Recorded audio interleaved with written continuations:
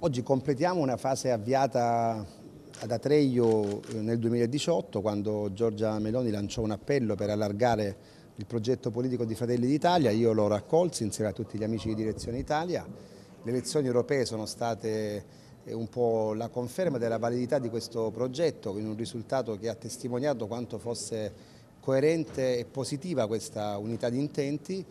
e come abbiamo detto in campagna elettorale, a chi ci criticava descrivendo questo come un semplice accordo elettorale abbiamo sempre risposto che era un progetto politico e oggi si conferma tutto questo e si conclude una fase molto importante che fa di Fratelli d'Italia il primo gruppo del centrodestra in Regione Puglia con sei consiglieri regionali e che apre una prospettiva seria e importante anche per la prospettiva politica eh, di Fratelli d'Italia. Quindi Fratelli d'Italia